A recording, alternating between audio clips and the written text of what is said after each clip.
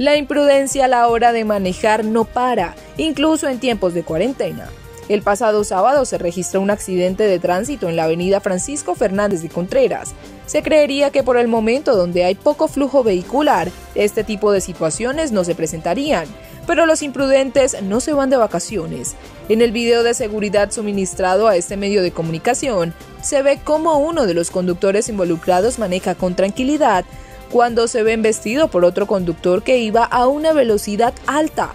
El llamado es a la prudencia a la hora de manejar y respetar la velocidad máxima para transitar por este sector.